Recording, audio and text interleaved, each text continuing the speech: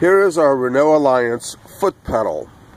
This is a shifting mechanism that a lot of people don't see, but they hear all the time. And you have a plastic gear, a white gear of what I'm looking at. So you got your brake pedal, your clutch pedal. So let's kind of make a quick run through here.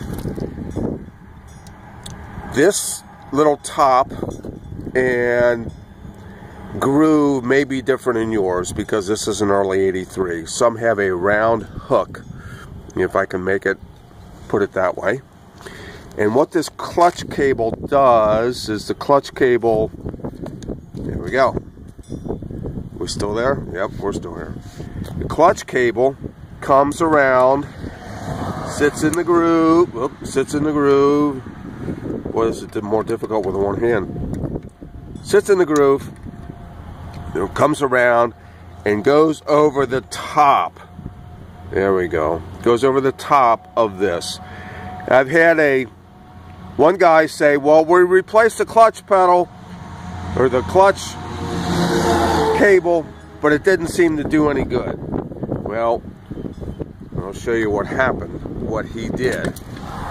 What he ended up doing was he didn't put enough pressure on this spring-loaded mechanism when he put the clutch pedal back together. Because this mechanism here always puts constant pressure on the cable. And what happened is as he was putting things back together the cable slipped off of the there we go slipped off of the groove. There's the groove and ended up here, preventing the self-adjusting mechanism to work. The other thing a lot of people don't understand is they hear, a, every once in a while they hear a gronk from the clutch pedal.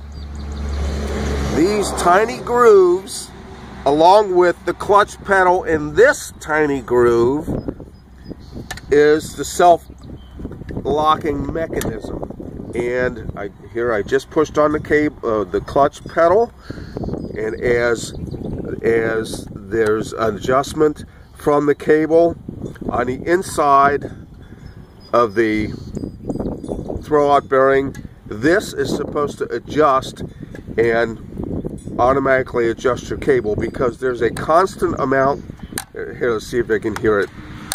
Yeah sort of like a stripping sound stripping what this does is puts constant pressure on the throwout bearing. So this is automatic and it creates quite an issue sometimes. What you can do is glue this together and then adjust the cable with shims at the throwout bearing, which is kind of funky. But if you have more than one Renault Alliance, always keep this particular piece of plastic which is connected to the foot pedal and keep a spare one of these around in case you hear the constant clicking. Let's see if I can do it again. The clicking, because that will click when this piece here is stripped and it usually strips about there. So a lot of people don't know that. But again, always make sure that your cable is wrapped in the groove because your cable comes up through the hole here there it is. And then is in the groove completely. And then with constant pressure on the throwout bearing, this automatically adjusts as long as this is not stripped. And that's how it works.